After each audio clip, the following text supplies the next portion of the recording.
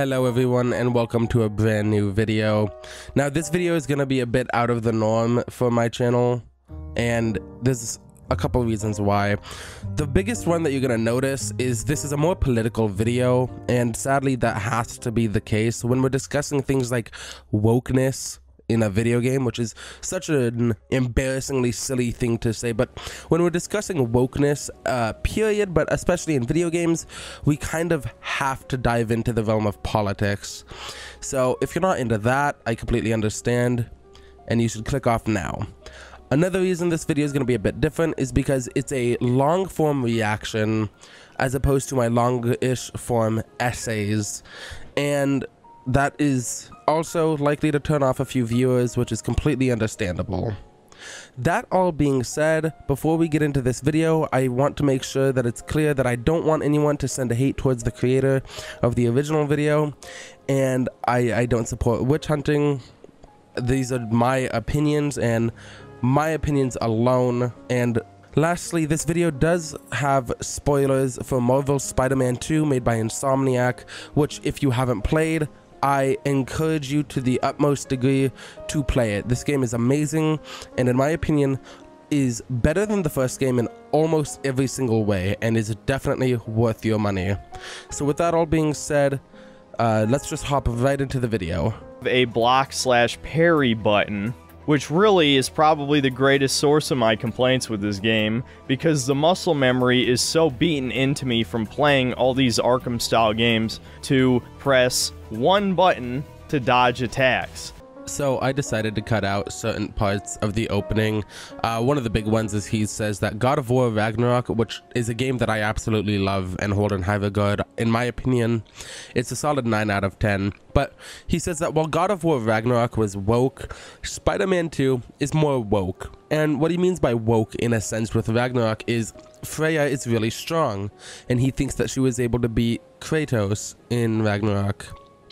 And he doesn't exactly remember the fact that she was the leader of the Valkyrie and he doesn't comprehend the fact that Kratos wasn't trying to beat her, he was trying to defend against her and he was okay with her killing him. Now, the, the big issue here is that a lot of the quote unquote wokeness that we see in Ragnarok is accurate to the source material, to North, Norse mythology. Spider Man has always been an inherently left leaning character, and so are a lot of superheroes like The Flash or Superman. And the reason is one of the big things that the left fights for is progressive rights such as gay marriage, interracial dating trans rights, the ability to live as a trans person without being ridiculed, by your peers. And Spider Man, especially Spider Man, always has stood to stand up for the little guy and make anyone feel like they could be the one behind the mask. One of the greatest things about Spider Man's outfit what? He is completely covered. So any kid could imagine he's Spider Man because no color of the skin shows. He could be black under that. He could be red. He could be yellow. He could belong to any race. And that True. wasn't done purposely. It was done accidentally. But I think it was the best thing we did, making him so that he could be anybody under that costume. It's hard to say that Spider-Man is not a quote unquote woke, assuming that woke just means accepting of different groups of people. Now, onto this exact point that he's talking about now, the gameplay. His complaint, as you can tell, uh, just boils down to the fact that he's bad at the game. He's grown accustomed to other games, making him just press triangle slash Y in order to do a dodge, uh, a counter attack. The thing is, in Spider-Man 2, if you've played, you will know, there's two buttons. There's circle to jump out of the way, and left bumper to uh, counter the attack. It's not all that complex. It's difficult because of how late the color flashes, but go into the, and I'm sure he would be upset at me suggesting this, but the accessibility tab actually allows you to increase the window you have to use the dot, the parry mechanic. And if I can, I'll put that on screen now. That being said, he's admitting to being bad at the game while just a few minutes prior saying that the game is brain dead easy. So these are the kinds of criticisms we're going to see as we get further into the video. So buckle your seatbelts. Now, the thing that I absolutely despise that you could probably guess is that Yuri, the cop from the first game who works with Spider Man throughout the game, has now become a vigilante akin to the Punisher. She's a mall ninja dressed in purple with a fucking chain sickle. She had a gun as a cop and is now downgraded to a fucking chain sickle and swings around kinda like Spider Man. And it's implied that she kills people, though we never see her actually killing anybody. And there's multiple things that are cringe about this character. First of all, she acts like a try-hard edge lord. Another case of a strong female character basically just embodying toxic masculinity traits. So, calling Wraith the female dark edgy embodiment of toxic masculinity is very silly because nothing she does other than fighting is traditionally quote unquote masculine. As for her just being some woke propaganda to pander to the leftist audience because they hate police, I would like to bring it to your attention that Wraith, the Yuri Watanabe version, was introduced in July of 2009 when cops were very popular with shows like Cops and Live PD. That being said, I'm led to believe that you just don't like her because you don't like women or women in a strong role.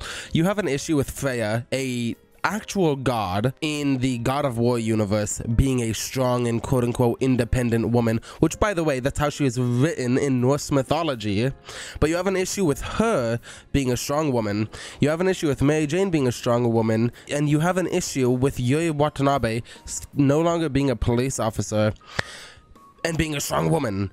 And for those of you who haven't played the DLC, this isn't some brand new out of left field thing. This was introduced in the DLC of Spider-Man 1. Yuri Watanabe had an operation to attack Hammerhead. In this operation, there was a police officer and it was his birthday. His child gave him a watch with Spider-Man on it and she says that he's good to wear even though it's against protocol.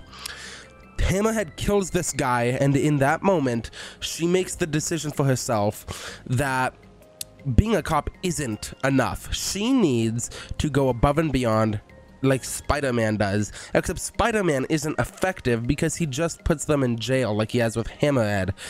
She needs to kill the bad guys, that way they are never going to reoffend again. So she's not this brand new woke character made because people hate cops now. She's a character that's been around since 2009. And though she doesn't use sickles, from what I'm aware, she's still a character from the comics.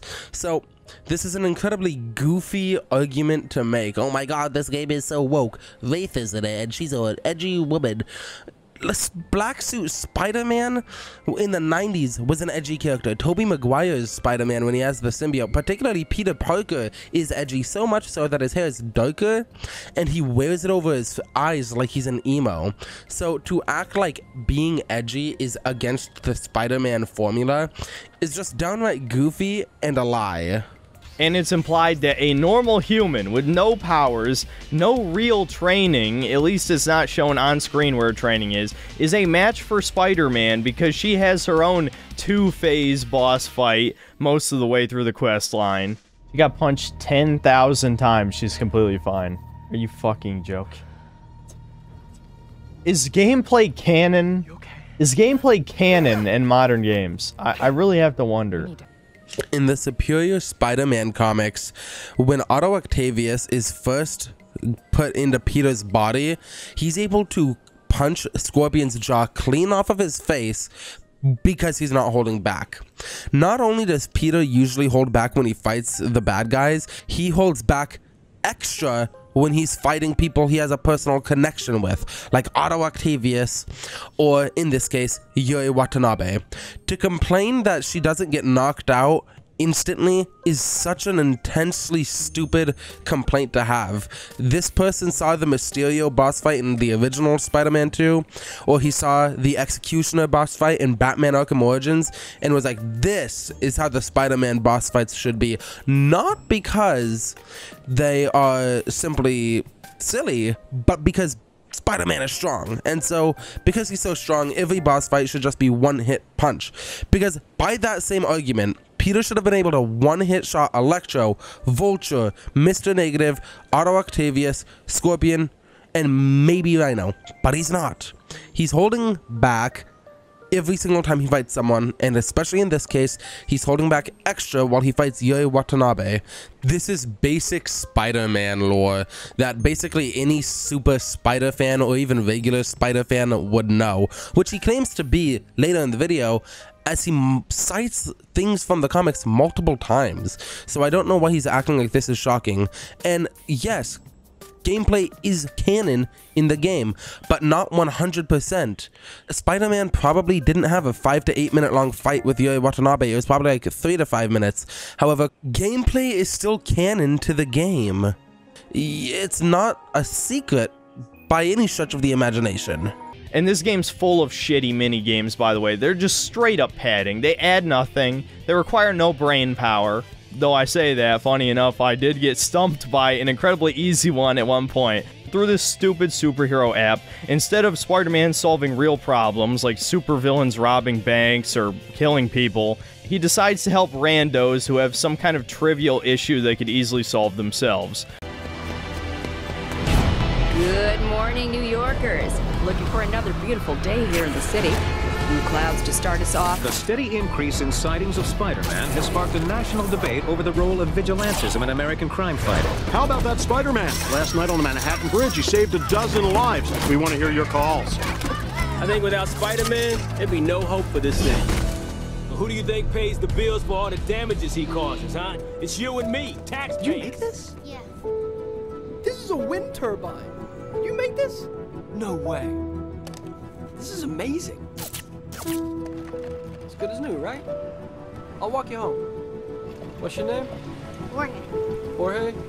Um, I'm Spider-Man. For example, you help some black woman find her grandpa who's gotten lost in Central Park or something. Of course, at the end of this quest line, you find the grandpa, he talks about his wife, and that's it. That's the whole point of the quest is to listen to some old man reminisce about his wife when he was younger. There's another quest where you help some old black guy free his pigeons because he's about to die and so they need to find a new home. And all you do is just swing around the city with pigeons flying around you while a copyrighted song plays. That's the whole fucking mission. And oh, big shock, he's dead when you come back. Ooh, how sad. There's an I find it very weird to feel it necessary to point out these characters' skin color. He points out that Haley's black. He points out that Ganke's Asian and fat. He points out that the blind girl side mission is black. He points out that Howard is black. He points out that that girl and her grandpa are black. And it's weird because he doesn't point out the skin color of any other character. He doesn't point out that Peter's white. He doesn't point out that MJ's white. He just calls MJ the T-slur later in the video, which is also very strange of him to do. That being set aside and focusing on the actual criticism he's levying, which isn't a criticism, and if it is, it boils down to I don't like being your friendly neighborhood Spider-Man. I want to be an Avengers level Spider-Man that deals with Avengers level threats, which isn't Spider-Man, and while we like to dunk on the MCU Spider-Man movies, I think Tom Holland's Spider-Man said it best. Don't pretend you thought this No, I through. I know you through. didn't. I you did could think this not through. have possibly thought this You can't through. be a friendly neighborhood Spider-Man if there's no neighborhood. Spider-Man helps the little guy, and he always has existed to help the little guy and make everyone feel like they could help the little guy. Because Spider-Man is a human superhero. He is, in every sense of the word, a superhuman. And my experience with the Howard mission, although mine and mine alone, was an incredibly emotional experience that had its ups and downs and even caused me to tear up at the end, just like the end of the Grandpa side mission. It is still one of, if not my favorite side missions in the entire game. Howard isn't just this random nobody, this black homeless guy. He's someone that we helped in Spider-Man 1. We come to know to learn that Howard's wife has been dead for years and he's used the pigeons to help himself stay in an almost good mood and to keep himself occupied with other beings. We in this mission get a sense that he's going to pass soon and this mission is us helping him grant his final wish. One of the only things we hear while we're going to drop the pigeons off is Not many folks have been kind to me in my life. Anytime, Howard! And you can still visit them! Take the train out! The music is amazing, the writing is amazing, and I don't see how you can A, not find it a good emotional scene, but B, find it a good level at all. It's such a weird criticism. Another side quest where you help some blind woman because apparently there's a monster in her yard. It turns out it's one of these robotic panther enemies, and Ganke reprograms it to be a dog, a heckin' pupperino, and you train it by shooting webs at shit in the environment. And of course, you give the robot dog to the lady, which has a fucking rainbow painted on it for some fucking reason. This whole game's like that. That's just the tip of the iceberg for that shit. I hate to be that guy, but that's such a weird criticism. My boyfriend pointed out while I was playing the game that there's actually a cup with Jesus on her uh, table right next to her. So if rainbows are bad, he should at least be willing to point out and maybe even praise the game for having Jesus in the game. I mean, Jesus is amazing and gay bad which by the way why does he only point out that there is a rainbow? There's also flowers that also just appeared out of nowhere and bumblebees and grass. The whole fucking art on the dog just like just randomly appeared. So where's the criticism for that it doesn't exist. Because this guy is blatantly homophobic. He doesn't he doesn't like gay people. I have reason to believe because of comments later in the game that he doesn't like trans people. He most definitely doesn't like black people. And because of comments he makes later in the video i, I believe he doesn't like women. He just fucking hates minorities. It's insane. Oh, but it gets worse. It gets much, much worse.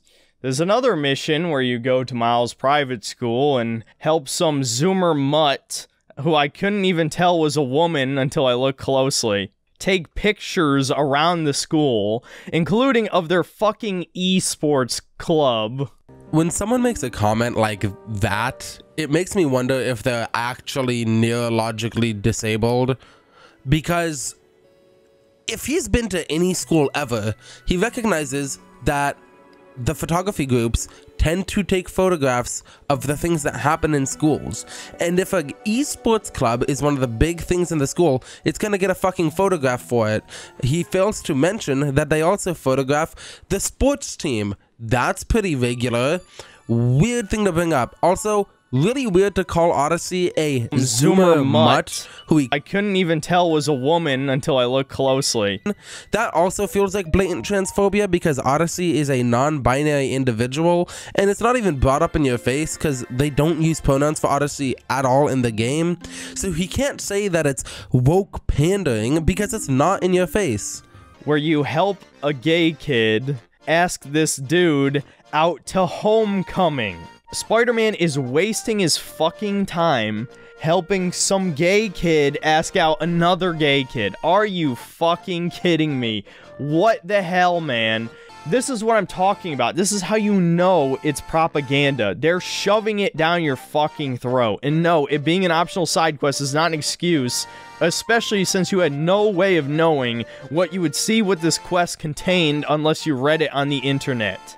So this is what I mean by this YouTuber is unapologetically homophobic. I have no doubt in my mind that if you were helping a white guy ask a white girl to homecoming, he wouldn't have a problem with it and he'd think it's a cute mission. No doubt in my mind. However, that's not the case. You're helping a, I believe, Latino male ask another Latino male to homecoming, and that's gay. However, and I'm not going to get into the science of it because you can do that in your own time, homosexuality is not exclusive to humans. Homosexuality can be found in almost every other mammal in the world.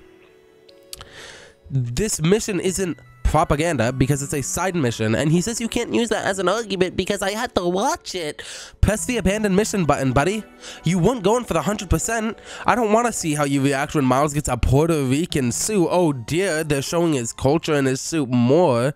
What a terrible reality we live in. There's a side quest where you play as Miles' deaf girlfriend walking around spraying graffiti on walls. No, I actually don't have all that much to say about this mission. I found it pretty fun and I found it very cute. However, I can see why people might not enjoy it. It's very separated almost, it feels like. However, the reason I'm talking about this is because the way he says it and the emotion he speaks with makes it sound like he hates the fact that he's playing as a deaf black girl, which based off of the way he's looking in that corner, the way he laughs and at one point makes fun of the ASL narrator who's actually deaf. Black history and black futurism. the girl pink reflect better in person at Coney. Yeah. Black futurism. I want my futurism. Wakanda forever. But I hypothesize that's exactly what it is. He's just racist. And that's not good, but it would be way better if he just admitted that he fucking hates black people. Just say say what you're thinking, man. You saw her on screen, you wanted to say the N-word. Uh, so that's it. On to the next part. This is actually part of the main story, but you meet a scientist chick who has the non-binary flag and the monkeypox flag on her desk. There's a pawn shop with the Ukraine flag on the inside, which this is fucking comic books. See, the issue here is that, for, ignoring the fact that he said chick immediately before saying that the person is non-binary, that's not woke, alright? That's not propaganda, because it's not in your face, alright? It's not even subtle propaganda, it's just identifiers to who they are as a person gives you a little bit of insight. Saying monkeypox flag is unironically blatantly homophobic, I would take it as a joke because those are the kinds of jokes I make, if not for the fact that he uses slurs. This is a very clear situation of someone trying to disguise their bigotry as comedy. I find bigoted comedy funny, but when the person unironically believes in the things they're saying, it loses any sense of humor. As for the uh, Ukraine flag, that's such a non-issue. I have played through the game a handful of times and I didn't even notice it. Also, Marvel Comics has always been one to talk about real world wars. What are you talking about? Captain America, World War II. Thor, he fought alongside Joseph Stalin in earlier comics. You're insane if you think that this is a brand new woke issue. But I wouldn't put it past him to think that because he seems to willfully ignore things in comics that disagree with what he's saying. Meanwhile, he likes to bring up things in comics that directly support what he's saying. Why does he have so many badass hunters that are full of women and people of color? I mean, this is the most diverse group of villains I've ever seen in any video game. Now, I'll give him this one. Unlike Brooklyn, which has a majority non-white population.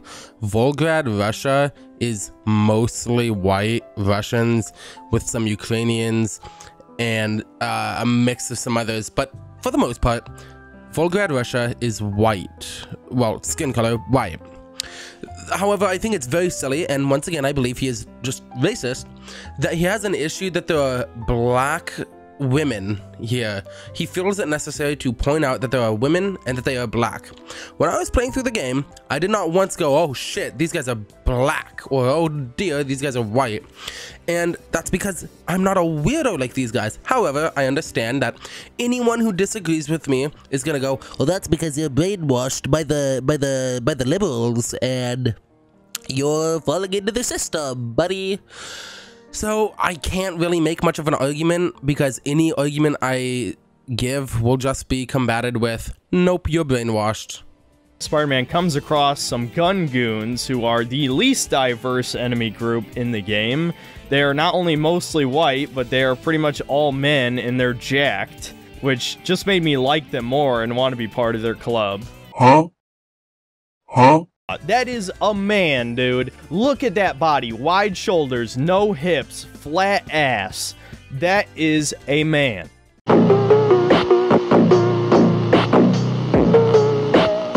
And now in a fucking superhero game, we spend the next five minutes cleaning up a house. And we get a flashback to when Peter was a teenager and he punched a hole in his wall and Aunt May helped him.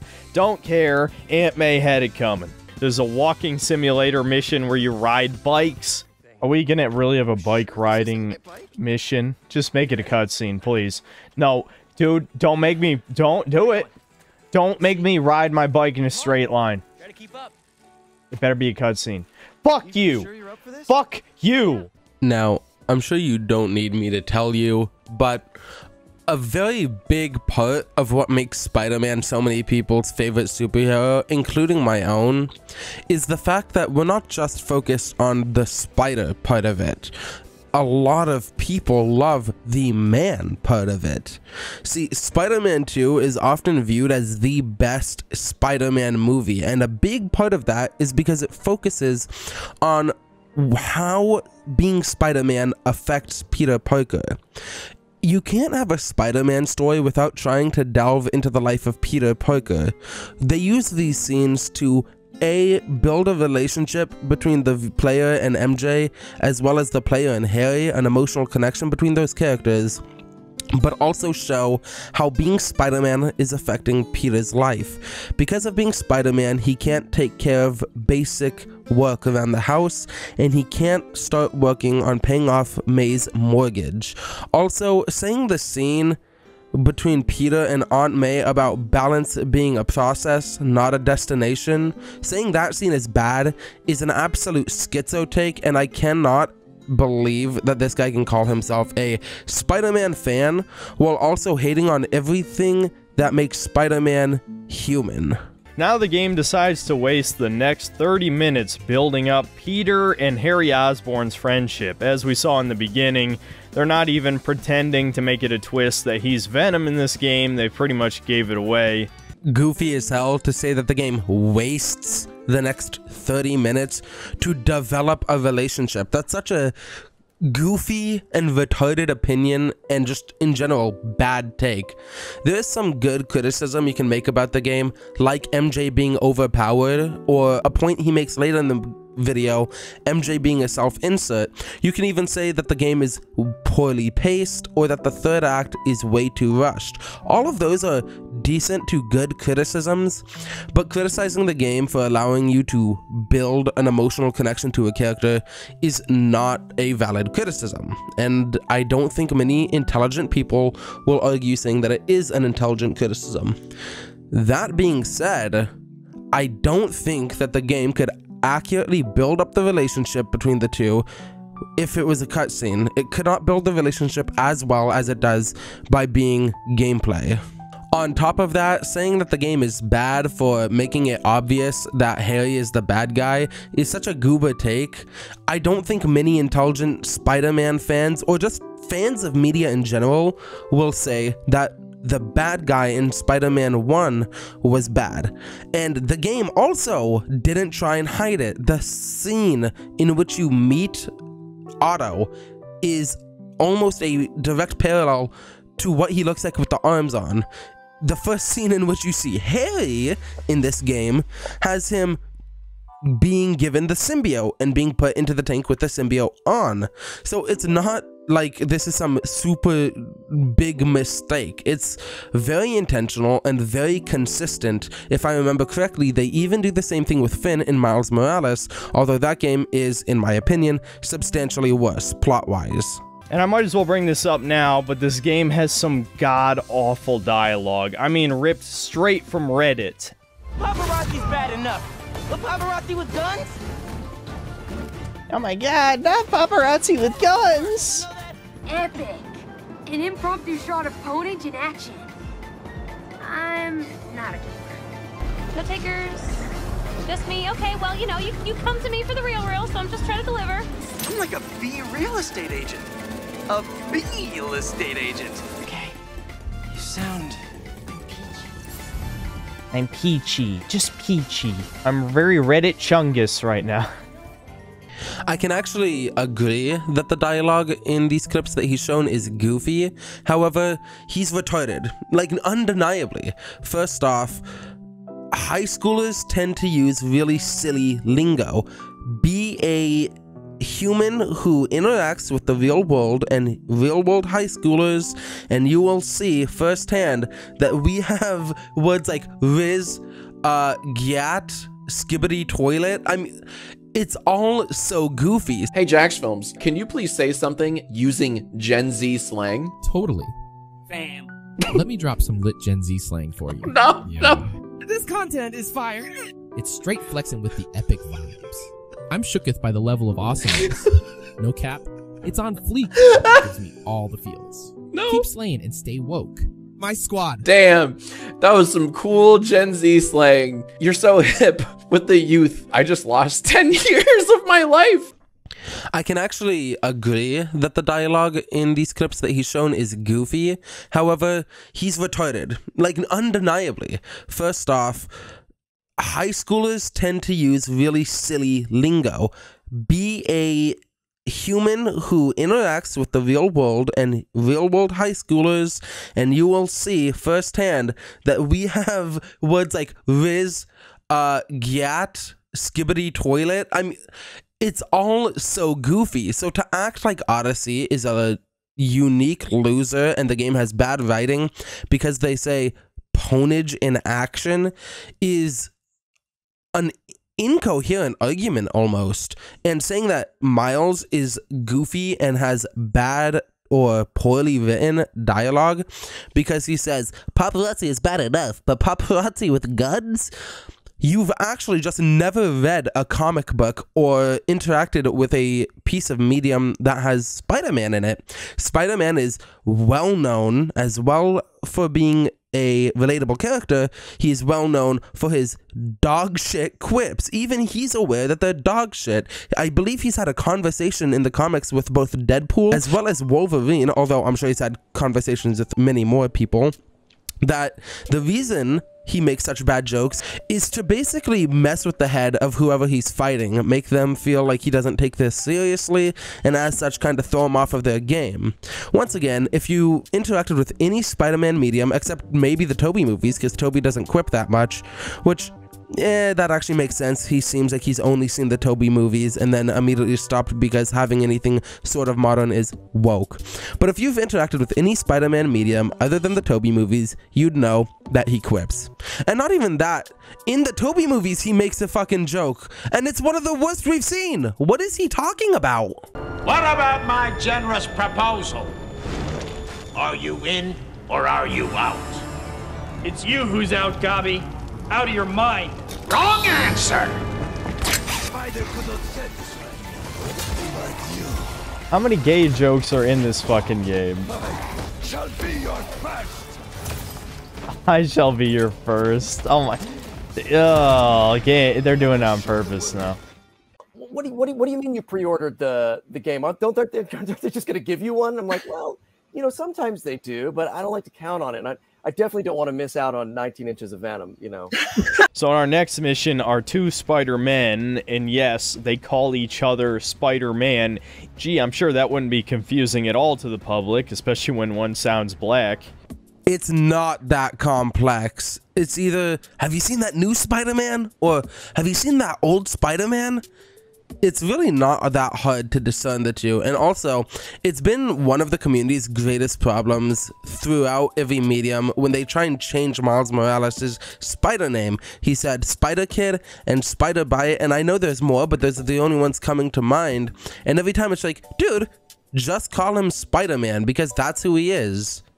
His design is straight ripped from the comics. It looks great. Kraven was certainly one of the only good characters in this game, even if I don't really like the idea of him having a thousand minions. I mean, where's the sport in hunting this ultimate prey if you have an entire army capturing them for you to fight them in single combat?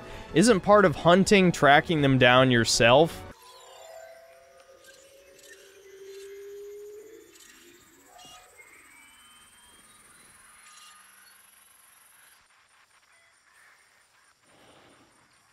Light the fires. And you would think with Miles Morales being Peter Parker's student, protege, apprentice, whatever you want to call it, that maybe Peter would help him forgive Martin Li, or maybe at least resist the urge to kill him. Nope. Miles does this all on his own. In fact, Miles takes care of all of his problems on his own, but not just his, but also Peter's problems. I also don't really like the fact that Miles Morales is able to take care of his own problems.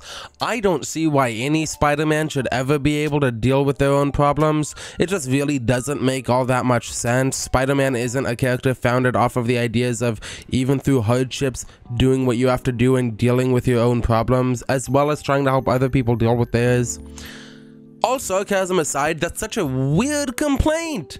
Peter deals with all of his problems, why can't the other Spider-Man? And as for Miles helping Peter with his own problems, they explain decently well why he's able to do that. And it's very simple. Through the last two-ish years, Peter's lost his motherly figure, his mentor and overall inspiration, and through this game loses his best friend as well as almost himself to the symbiote.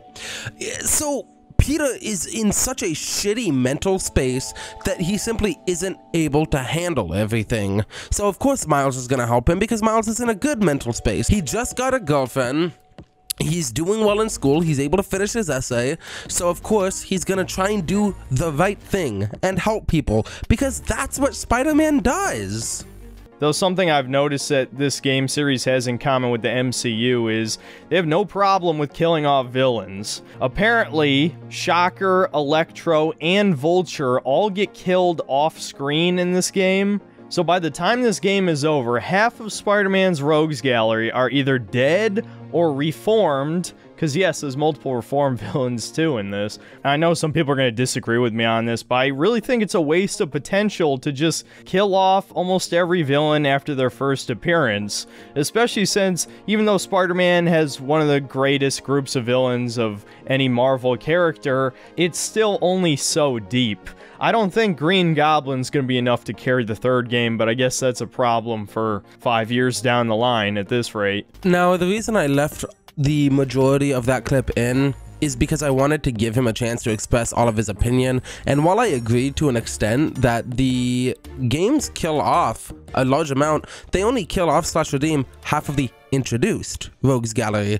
They haven't killed off Green Goblin, Venom, Doc Ock, Kraven is dead, don't get me wrong, but there's also his wife or other people in the Hunters. They haven't introduced Calypso yet. There's a female Doc Ock in the comics.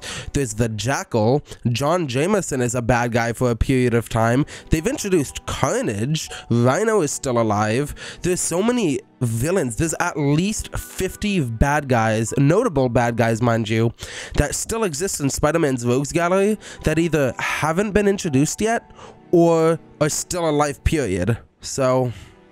No, it's just Black Cat stealing a teleporting scroll, and you'll never guess why. Apparently now she's a lesbian, and she uses the scroll to teleport to Paris so she can get with her girlfriend. Are you fucking joking? And what adds insult to injury is Black Cat is one of the only vaguely attractive women in this entire game. There is no other explanation for this except that the writers hate Peter Parker and they hate Peter Parker's fans. No, God fucking damn it now! I know that Black Cat likes women. I'm fucking losing it. Life isn't worth living anymore. I mean, god damn it, they made an attractive character not straight. Oh, God. Black Cat has been openly bisexual in the comics since, I believe, 2002. They don't hate fans. They don't hate Spider-Man. They clearly love him more than you do, seeing as they understand different things that have happened in the comics and have become a essential and canon part of people's character. You're whining because you don't think it's plausible to jerk your willy off to a, uh, as you put it, quote unquote, lesbian character. Once again, she's not. It is canonically factual that she has had sex with Spider-Man. The whole plot of the first DLC in Spider-Man was that her child was missing and Peter thought it was his. They fucked. So she's not a lesbian, she's bisexual. And I'm sure that's very hard for him to comprehend that the sexuality is not a binary. But like I said, Black Cat has been bisexual in the comics since, I believe, 2002. I'll put that on screen now. And what do they do in the games? They take that away from him by making her a fucking 50 year old man jawed. Tr- like I said earlier, I'm perfectly okay with offensive humor. It's, to be honest, the main kind of humor that I'm drawn to. However, I don't think this is able to be passed off as just a joke. He's been very oddly racist and homophobic and transphobic the entire video, and so when he just straight up drops the T slur, it's such a weird and off putting situation. I mean, shit, in the 90s cartoon, which was for children, they made sure to make Black Cat hot as fuck. The video is linked in the description if you want to fact check me on this, but he goes on a rant for about five ish minutes about just how upsetting it is that there's no super sexy characters in his superhero game. That is so weird.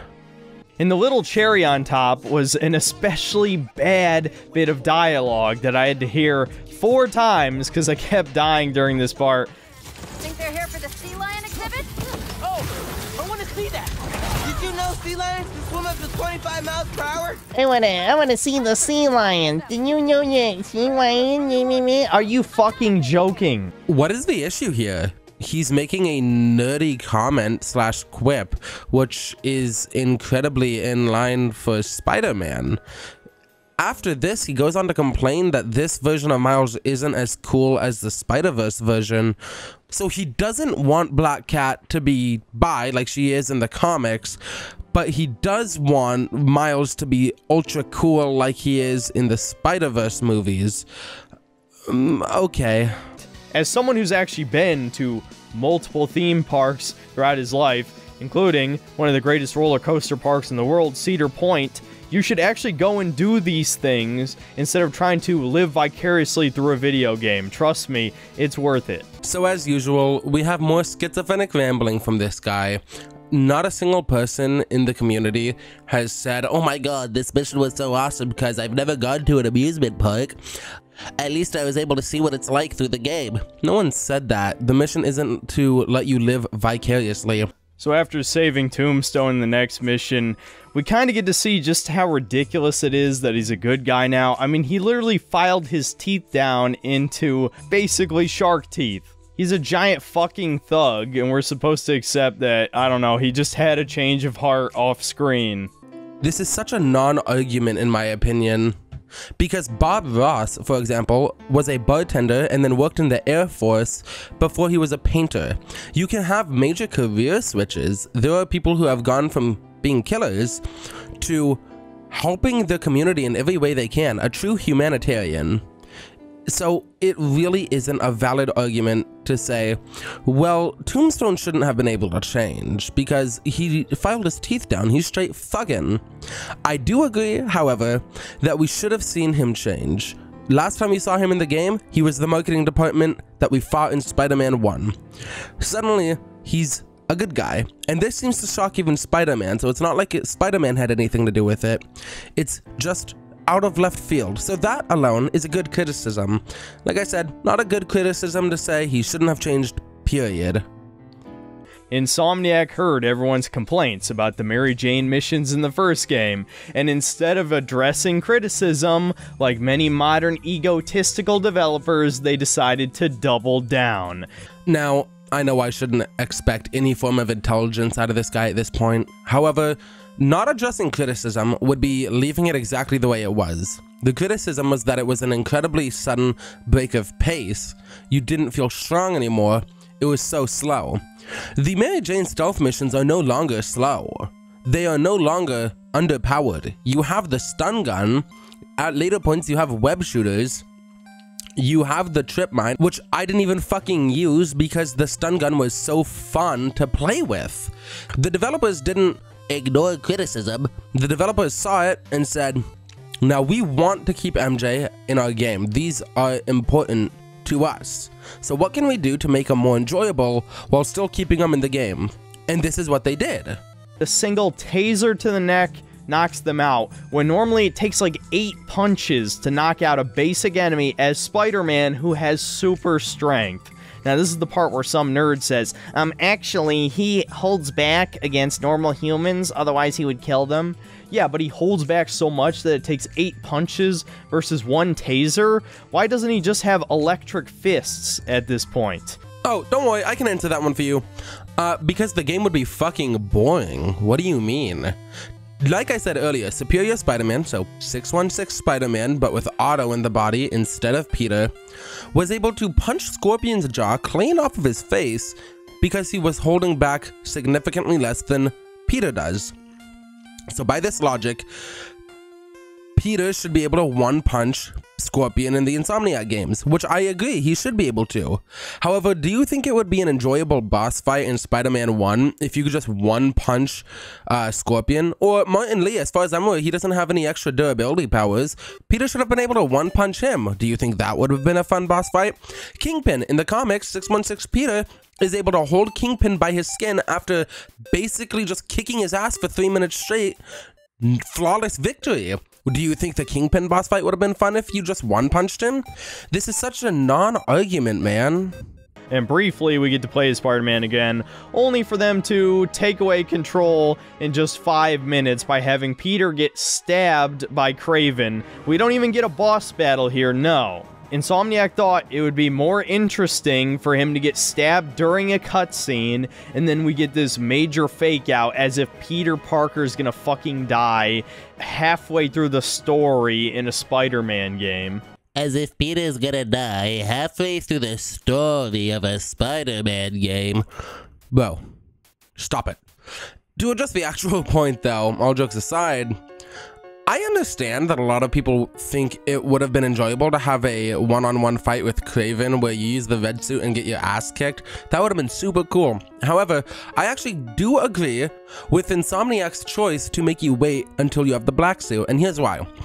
It makes the Kraven look like a bigger threat. He kills half the Sinister Six, and essentially kills Peter once. And then you have to wait to fight him. So it builds up, not just for the player, but especially for Symbiote Spider-Man, it builds up the want to fight him and kick his ass. So, like I said, I understand where the complaint comes from, but I don't think it was a stupid decision, quote unquote. Instead, we get a very, very half-assed Bully Maguire sequence because the writers are giant cowards. Most of the time, Spider-Man isn't even an asshole, and it doesn't help that Yuri Lowenthal is a very bad one-note voice actor who has only managed to have such a prolific career despite his lack of any vocal range for purely nepotistic reasons, and no, I'm not gonna elaborate on that, you'll just have to look it up. I like that he says he's not willing to elaborate on that, and that really came back to bite him in the ass because if you look up Yuri Lowenthal nepotism, the first thing that comes up is a Reddit thread of people just shitting on Pathetic Man over here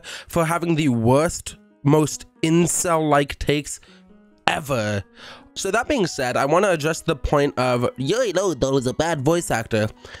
And I'm going to show you why that is not true. I should have known you'd turn on me just like all the others. Turn. Turn. I've worshipped you. Your mind. Your conscience. Wanting to help others.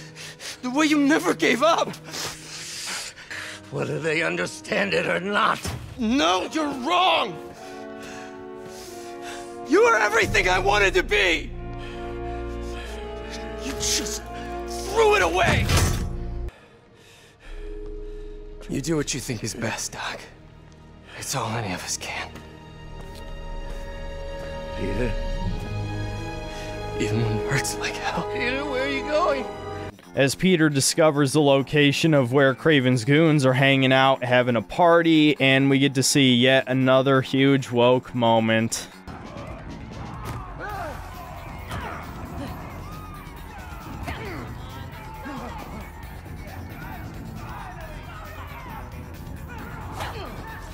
And everyone just thinks this is okay, this is fine. This totally means nothing. Your lying eyes, your pattern recognition, that's just schizo shit. I was seriously disgusted when I saw this, and it doesn't help that most of this mission is yet another walking simulator mission. Once again, more evidence that anything that's woke to him, we can translate to normal talk as showing a not white guy. That's it. He is physically disgusted by the fact that a female hunter, who by the way, we can assume that the hunters are some of the greatest trained fighters and were probably trained on the same levels as each other, is able to fight another guy. She probably just trains a lot because that's what the hunters do. They train and train and train. So it's not hard to believe that she can fight this guy and even beat him. And it's not disgusting. What's disgusting is your unapologetic, honest to God bigotry. You hate black people, you hate gay people, you hate trans people, you hate women. It's so terrifying how you cannot handle the idea that there are people who just aren't straight white people. Finally, next mission, we catch up with the lizard and get a real boss fight. And my only real complaint with this is something I didn't mention back in the gameplay section, but every single boss fight has an insane amount of dialogue during it. And look, I'm not arguing this on the basis of realism. I couldn't care less about that aspect, to be honest. What I do care about is most of the dialogue is shit, or just completely unnecessary. Once again, it feels like this is there to hold Zoomer's attention. The game expects you to suddenly be on top of your game. Let's just say that didn't mix well with my ADHD brain. It was starting to piss me off by this point.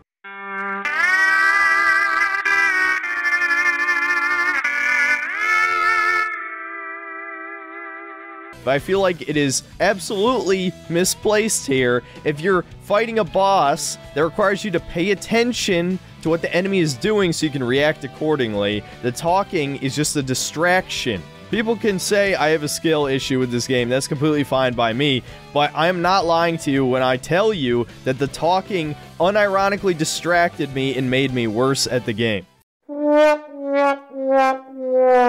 Saw cops Yes, the cops apparently exist in this game despite their extremely reduced presence. Yeah, that's something you'll probably notice. As a response to a common game journalist complaint about Spider-Man helping the police. I know, a fucking superhero helps the police. What a crazy idea, right? Insomniac decide to remove the police from all but just maybe two or three missions in the entire game, and I don't think Spider-Man even ever directly interacts with them.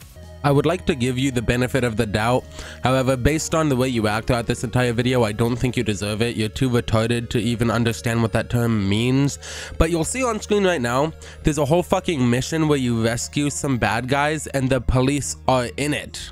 And Dr. Connors warns Peter that the Venom symbiote corrupts your mind and now, of course, since we've been told this in the story, all of a sudden Peter's transformation into a monster skyrockets from this point forward because we gotta rush this shit along. We got two main characters, there's no time to develop one complete plot line. So I can actually agree to an extent. The symbiote storyline with Peter does feel rushed as he only has the symbiote for two or three days. However, he's being, as usual, willfully negligent and dishonest with his community, or he's just too stupid to understand what's happening in the story. The reason the symbiote speeds up its evilness so quickly is because Peter comes into contact and, if I remember correctly, even touches the meteor, which we can assume is sent to Earth by Knull. And when we see Venom interacting with the meteor, he also skyrockets from where he is. So this is a non-argument and also isn't even fully a mistake as it affects Venom too. And I actually want to suggest a secondary option if you don't want a more mature, serious route. You could just do what the 90s cartoon did. Believe it or not, in the original comics, the black suit didn't actually corrupt Peter's mind. That was an idea the cartoon came up with first, and let me give you a little bit of a sample of what that sounded like. It's like this. I'm through with not getting what I want. That's funny. I give up too. I give up trying to be a friendly neighborhood Spider-Man. Miles ends up tracking down Mr. Negative. He's been captured by Kraven. They have a 1v1 boss battle where Miles decides, obviously, not to kill him, which I think is definitely the wrong move. It's way too boring. It's yet another thing that makes Miles way too similar to Peter, but without any of the character flaws. Committing homicide is not just a character flaw, in multiple different stories, killing has been the single thing that's led Peter down a dark road. For example, although it's off screen, in the Amazing Spider Man movies, Peter starts killing after Gwen dies. And it's also very silly to say that Miles is too much like Peter because every Spider Man lives by the same mantra. Remember, with great power comes great responsibility. You're a lot like your father. You really are, Peter, and that's a good thing. But your father lived by a philosophy, a principle, really. He believed that, that if you could do good things for other people, you had a moral obligation to do those things. That's what's at stake here. Not choice, responsibility. You have a gift. You have power. And with great power, there must also come great responsibility. Now, here we have the first major moment of the story that legitimately pissed me off. Despite losing to Kraven in a 1v1 fight, Miles is able to defeat Peter with the symbiote suit on. And I just know there's going to be people making excuses for this, saying that, well, Miles' bioelectricity abilities are more effective on the symbiote, and he also could ring the bell in the arena. Well, first of all, it's fucking stupid that his electricity is good against everything in this game. Yeah, not a single enemy resists his powers in any way. In fact, most of the time it's the opposite. And while the bell argument is fine, I still don't think it should have been enough. Miles already feels like a Gary Stu in a bunch of moments throughout this game, but this is truly the moment that solidified his place as the replacement for Peter Parker, because not only does the student surpass the master, but a more powerful version of his master at that. Now, again, I wanted to leave this clip in in its entirety so that you guys would be able to hear all of his criticism. So, I think this is a fairly common complaint, and I'm actually going to try and break it down in a more respectful manner. Miles' bioelectricity powers come from Martin Li, who also gives Peter his anti-venom powers, and the anti-venom is strong against the regular venom. Now, if the anti-venom is just regular venom, but with Martin Li's powers, that means it's Martin Li's powers that are strong against Venom. And if Miles has Martin Li's powers, that means Miles realistically does have a reason to be stronger than Venom. If you want to be upset that Miles' powers are strong against everything, that's a fair complaint and I'm not going to hold it against you. However, in this case, it logically does make sense. Same thing going with the bell. Also, Miles doesn't defeat Peter like like Kratos with Freya and Ragnarok. It's not fighting to win. It's fighting for defense. He's trying to fend off Peter Parker. That's all that's going on. And again, it robs Peter Parker of a great character development moment he could have had. It is embarrassing when the 90s cartoon with its over the top voice acting handled this better than the $100 million AAA video game. So, with the help of Miles, Peter rips the suit off and they capture it. And they have a conversation on a nearby rooftop, which is the beginning of Peter's various groveling, apologizing moments that you're going to get for the rest of the story. None of this was his fault. Venom was manipulating his mind. Peter didn't even choose to put the fucking suit on. Venom latched to him to save him from dying. So remind me how the fuck any of this behavior, any of his actions were his fault when he was being mind controlled. So I'll gladly tell you actually, and I'm sure your response is, oh, I'm sure you will. I will. The symbiote is an allegory, or in layman terms, a metaphor for addiction, whether it be to alcohol or drugs. If you have a dad who's an alcoholic, so addicted to alcohol, and he's drunk one night and he beats his wife and he beats his kid, does he deserve to be held responsible for those actions? I would hope you say yes, because even if he was under the influence, which they actually use that exact phrase to describe Peter while he was using the symbiote, Miles says, while you were under the influence. So just because the dad was under the influence of alcohol doesn't mean their behavior is any more acceptable and they need to own up to what they did. And in this situation, they need to try and no longer be addicted, which means cut back on the alcohol, if not entirely cold turkey. A lot of the time in real world addictions, people need help. Now, you can't stop the person from their addiction. You can't rip the needle out of their arm. You can't rip the needle out of their hand or the bottle out of their hand or their fridge. But you can do what you can to be there for them and try to help them in their time of need because that's what it is. It's a time of need. It's an incredibly hard moment in someone's life that causes them to spiral into addiction. If the symbiote is an allegory for addiction, Miles helped take the bottle out of Peter's hands. It's not that complex, and Peter was not mind controlled. And in yet another contrived moment, Venom is born, and he is way more powerful than he was being attached to Peter, which is not explained in any way, but I will let it slide because it's a rule of cool moment. So, this actually is explained. The symbiote feeds off of hate. You said you read the comics, which means you probably have dabbled in other forms of media, most likely including the spectacular Spider Man, but you also talked about Ultimate Spider-Man, which introduced Venom in, I believe, also 2009, which means you have a little bit of an idea up to the late 2000s. All that to say, in most other forms of media, other than the original 616 comic line, the symbiote feeds off of hate. Now, Peter has a lot of sadness, which manifests in hate. Harry is livid. As far as he's concerned, his friend is trying to kill him. His best friend, who he's known since at the latest high school, is okay with him dying because he wants just he wants his own life to be better. So Harry has way more hate in his heart now than Peter does, and that manifests in a bigger symbiote in Venom.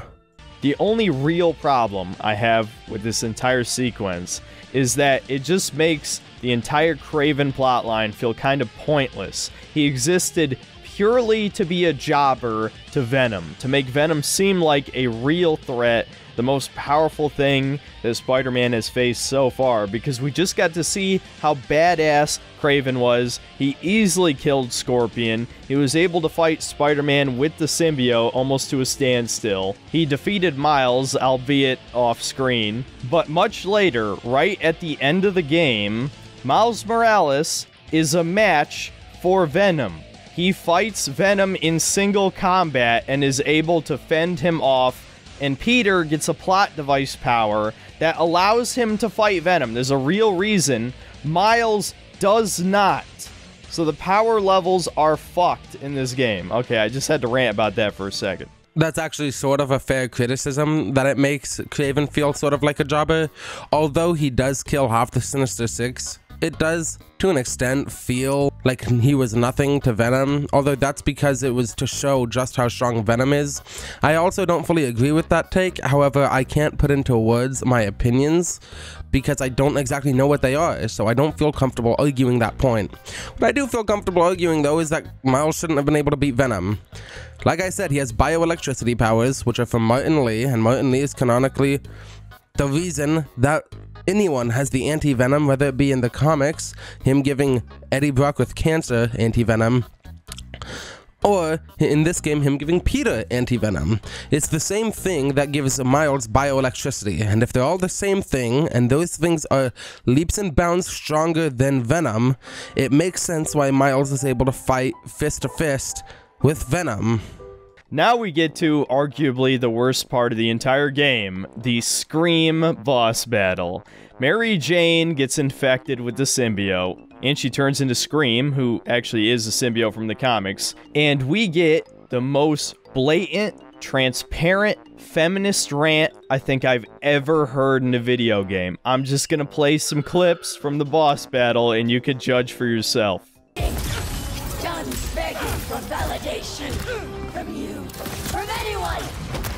Validation? If this is about your job, It's about me. Hey! It's not my job, you stupid house. Typical woman. Me, me, me. don't listen to those voices. They aren't telling the truth. I heard them too. I know how it feels.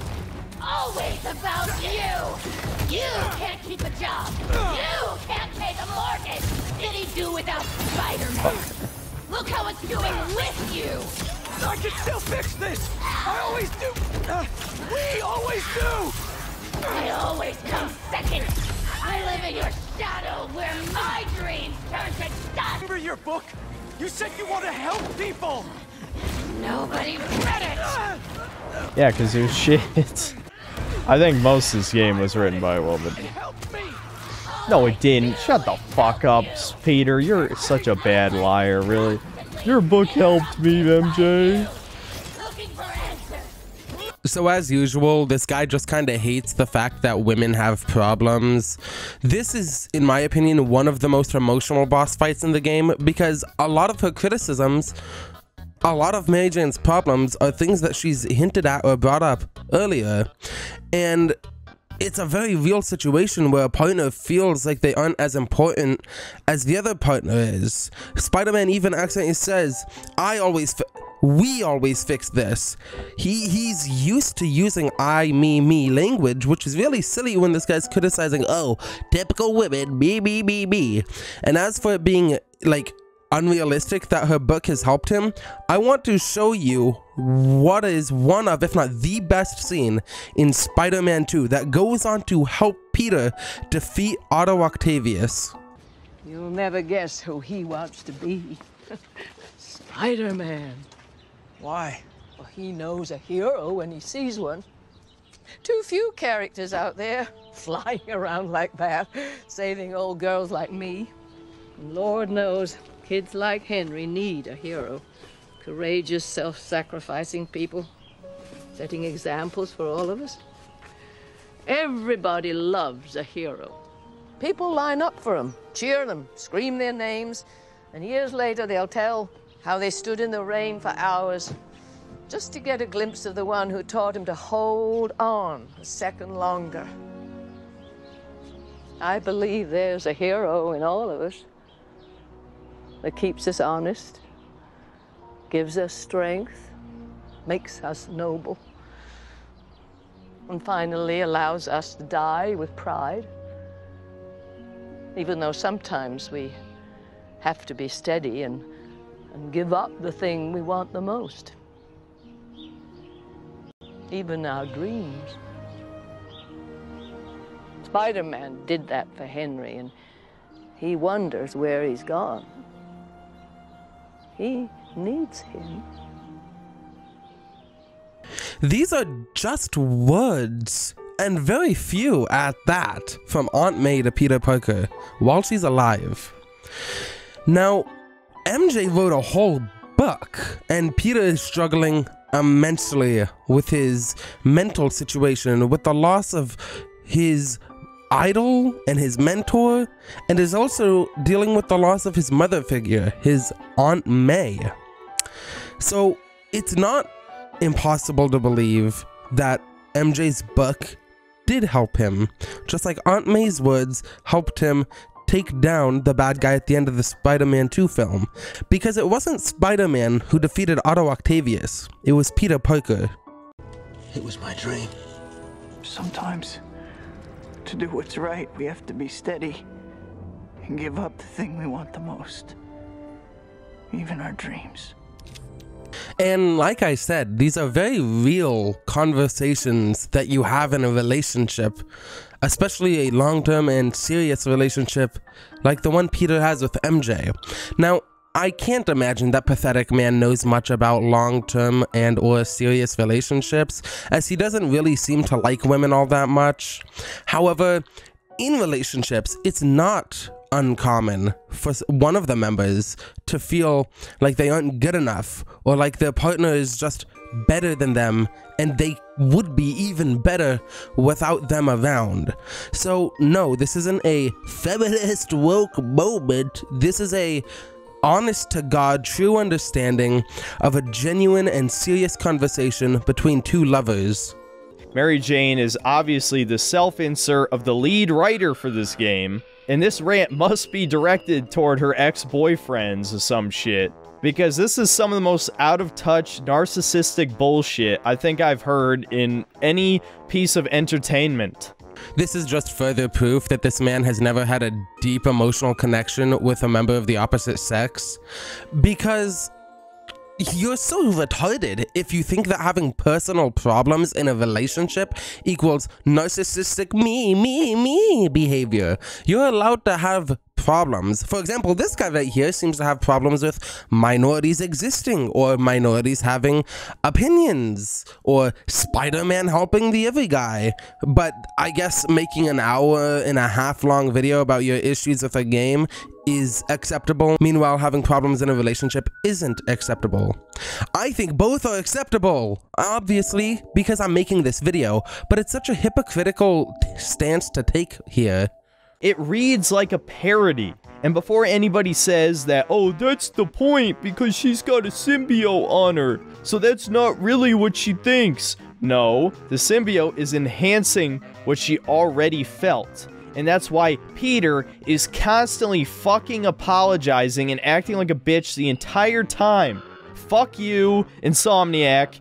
It's unbelievable. I've got nothing more to say, really. So you recognize that the symbiote doesn't mind control you, it just exasperates things you already feel, which that alone kind of dismantles your entire argument of Peter shouldn't be held accountable. So I'm just gonna play these two clips side by side and I wanna know, which one is the truth, Synthetic Man? So remind me how the fuck any of this behavior, any of his actions were his fault when he was being mind controlled. It reads like a parody.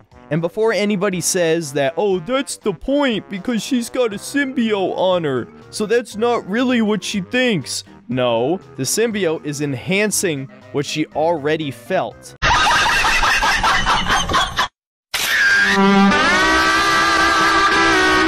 But the worst part of this mission comes right at the very end, as despite Peter now having a real reason to contribute, something that makes him stand out from Miles, since Miles is pretty much just him but better, he says this. Why would the city need me when it has you? Now all of you can stop coping, seething, and dilating, claiming that Marvel's not trying to replace Peter Parker since he's a straight white male. Insomniac just straight up told you that Miles should replace Peter because he's better in every way, and he's also an oppressed minority, and he's very cultured, and Peter, at the ripe old age of 26, is busted and slow and useless despite just being given a power which would justify his existence in this plot. It makes sense that this guy is so racist he can't keep up with the plot. Let me dumb it down for you, buddy. Peter's not saying that Miles can do it because he's a suppressed black male who's cultured and swagalicious. And I'm a fucking broken down white man at the age of 28. Peter is in the worst position in his life. He's hundreds of thousands of dollars in debt via mortgage, via May's house. He is dealing with the trauma of his mentor being a super evil guy. He's dealing with the trauma of May's passing and he blames all of that on himself. Everything is how could I let this happen? It's always like that when you're dealing with Peter Parker. So, no, it's not because Miles is black and hip and Peter is old and white. It's because Peter is not in a good mental space to try and help everyone. And even if, when he was, it constantly demolished his life. So now that there's another Spider-Man who can pick that up, maybe it's time for him to settle down for just a little bit, take a take a back seat, and get his life back together because that's what he wants, and honestly, that's what he deserves. But Sony fans are fucking idiots. They'll eat this slop up. They don't care because they hate themselves. They are the soy boy beta male redditors who hate themselves. And we're given an actually interesting ethical dilemma. Dr. Connors tells Peter that he has to kill Harry to stop Venom, whereas Norman Osborn wants him to save his son. Unfortunately, because this is a modern superhero story, Spider-Man doesn't consider killing Harry for even a second, so it's not really a real moral dilemma, but we almost had something interesting there. As usual, He's stupid and wrong. It's almost irritating trying to deal with him at this point, but we're close to the end of the video, so let's keep going. Peter Parker doesn't want to kill. It's always going to be the last thing he does. Cletus Kasady deserves to be killed more than anyone else in Spider-Man's Rogues Gallery, as far as I'm aware. And Peter doesn't kill Cletus, even when he's not part of the symbiote. Cletus still pushed his fucking grandma down the stairs when he was a kid, and if I'm correct, electrocuted his mom while she was in the shower or bath or one of the two. Point being, he deserves to die, don't you think? Peter hasn't killed him, ever in the comics, and he was introduced in the 90s when you loved reading comics. Ooh, you hear that? I said 90s, a little, little car keys jingling over here for him. Peter doesn't kill unless he has to kill. So no shit, he doesn't immediately go, okay, I'm going to kill Harry. He's going to do that as the absolute last of the last resorts four forms, you're playing as Miles Morales. Because he's there, he exists, he has to contribute. This is clearly Peter's moment to fight his best friend. That is the dramatic buildup of the story, and they still had to have you play as Miles Morales for the second half of the fight, no less. Now, this may or may not surprise you, but I actually agree. I think Miles had little to no place to be in the Venom boss fight, as there was very little, if any, emotional connection between those two characters. The closest thing I can think of is Harry asking to help because he feels useless, and his mom telling him that if there are no open doors, make one yourself. So that's what he's trying to do. That's the only time that I feel there's any emotional connection. Other than that, there's nothing. And I agree, this was Peter's fight. And I also agree that if Miles was gonna be in it, he should have gotten the first half, not the second half. And I feel like we really were, in a way, robbed of having what could have been the most emotional boss fight we've seen. And then the end credits scene where it shows Miles' mom is dating some dorky fat Asian guy, and his daughter is Cindy Moon, aka Silk. So we're now going to have three Spider-Men in the next one. Instead of Spider-Gwen, it's going to be Silk. Because it wasn't enough to have a minority Spider-Man, we now also need a woman Spider-Man. In fact, just fucking kill Peter Parker already. I'm tired of this bullshit. This story fucking sucks. This kind of just proves the points I've been making even more. He hates women. How dare they have a female Spider-Man? And that's the reason, not because it's stupid to have a third Spider-Man, which I agree, we don't need Silk, that's stupid as fuck. But it's not because we don't need a third Spider-Man, no, no, no, no, no. It's because she's a woman. And women bad. And once again, he feels the need to bring up Mr. Moon's ethnicity. What is going on? This guy sees anyone that's not a straight white male and he's like, oh, uh, hmm, hmm, uh, uh, I can't fucking do it. All right, here we go. Miles, no, choose life.